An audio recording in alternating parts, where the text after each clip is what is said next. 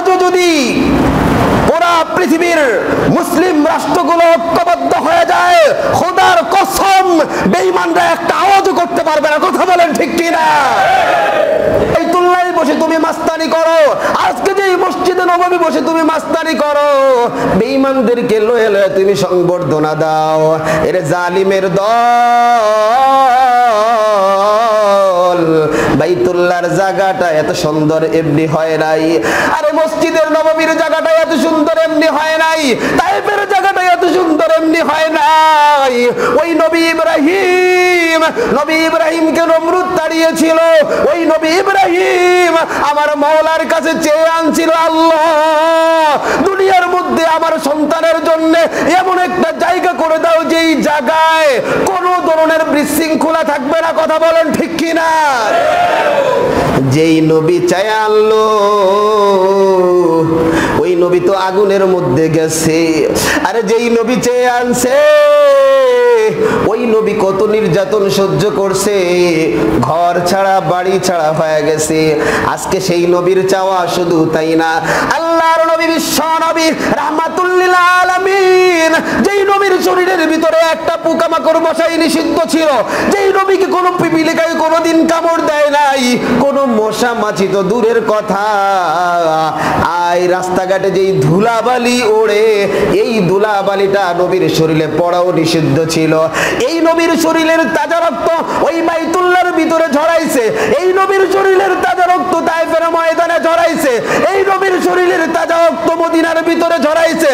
আজ তোরা মদিনার শাসক হইয়া তোরা বসে বসে গালের মধ্যে আঙ্গুল দিয়া মুসলমানদের রক্ত নিয়ে হোলি খেলা আরম্ভ করে দিয়েছ, কথা বলেন ঠিক কিনা? কার জন্য?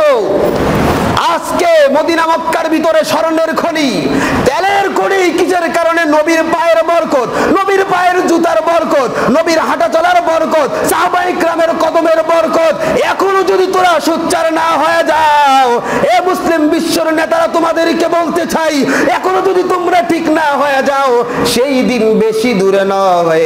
যেদিন তোদেরকে মসজিদের ভিতরে ঢুকাইয়া আগুন দিয়া তোদেরকে জ্বালায়া দিবে, কথা বলেন ঠিক কিনা?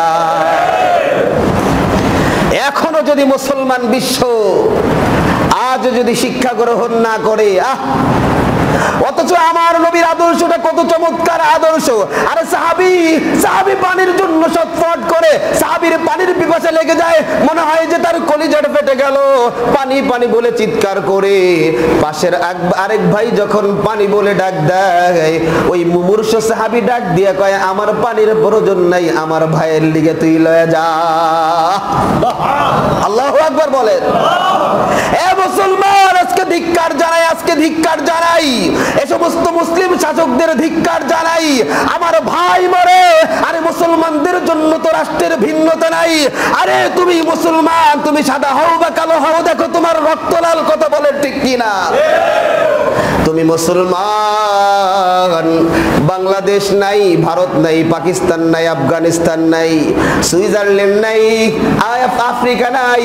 মুসলমান যেই কালারই হোক না কেন, মুসলমানের হাতটা কেটে দেখো, রক্তটা লালি বের হবে, কথা বলেন ঠিক কি না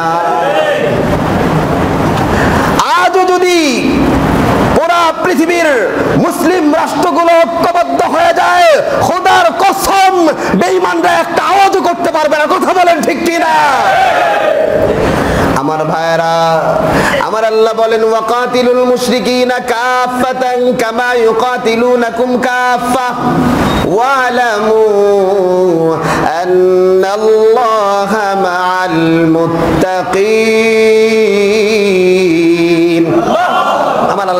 চমৎকার কথা বলছে।